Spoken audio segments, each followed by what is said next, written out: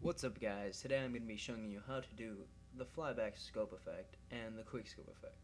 These two effects are very very simple. I've had them requested many times, but yeah, this is what it would look like. Just hit play.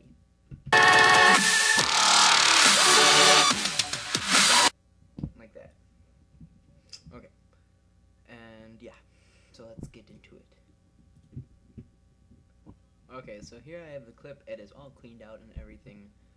First thing you would want to do is find the beats. You would want a beat that has a beat leading up to the actual drop or whatever, so it sounds like this.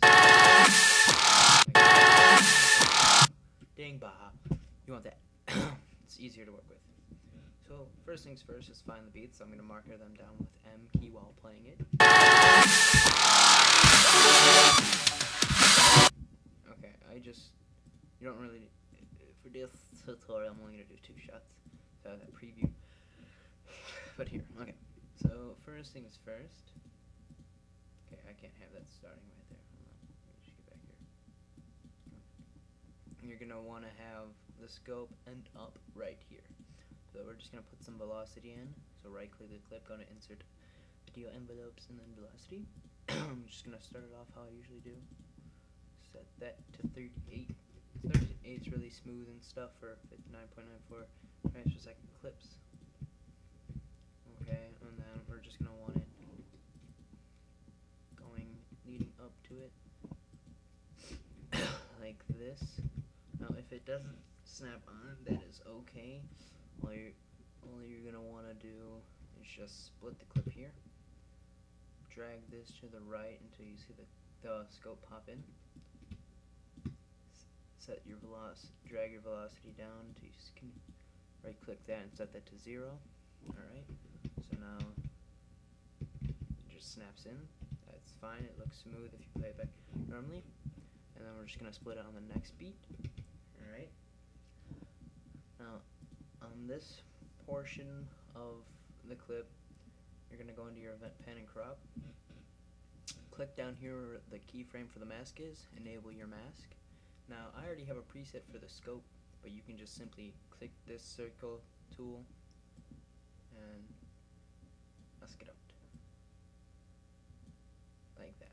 And you can easily just save it by renaming this scope to scope or whatever you want to do. But I already have it, so I'm just gonna hit scope. Alright. I also have a fine scope. If you ever want to do that, you can copy down these settings, ask a little bit inside of it, feathered out by 5. So yeah. Alright, after we do that, we can go up to position, go about a quarter before the clip, the next beat, right here. Scroll back out here, hold control, and drag the bottom out like this. Now you don't, it doesn't matter if you have anti-aspect ratio on and off, doesn't really matter for this. and then go to the end, right click and restore now that's just flying back and coming forward. You can also just spin it like this, so it goes, flies out, and then comes back in like that. And yeah. So that's the flyback scope effect. And to finish it off, drag your velocity up on the right clip. Double click at the top, set to 50, change that to fast, I'm going to set it to 38. So you set it to 50.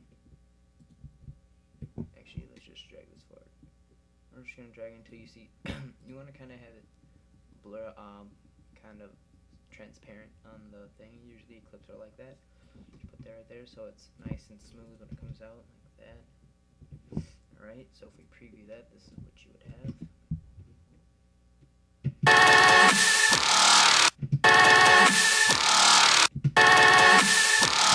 Alright, now this next shot for the, for the quick scope effect Find double click here and speed it up. Set that to slow. It does not hit right there. So what you can do is split it here, drag this all the way down until you finally see the shot. There's the shot. Drag this back, and smoothing it out at the end, just doing what I do. Then you'll have this kind of effect.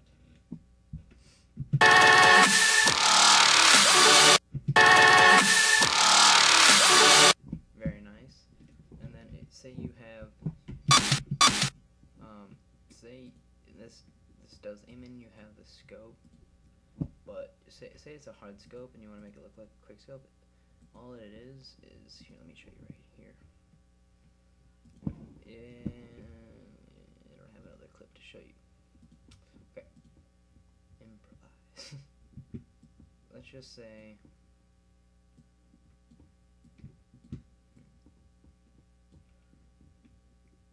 Mm, how am I gonna show this? I honestly don't know how I'm gonna show this.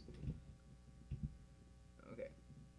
So if that say this was a hard scope when it wasn't, but it was, you're just gonna split it right there, like right if right after it zooms in, and then you just drag this to the right until it comes until it gets the transparent screen again, like that, and then it'll make it look more like a quick scope and it's very fast, very simple, looks nicer. Doesn't make it look like a hard scope. Uh, yeah. But that is it for the tutorial. Hope it helped.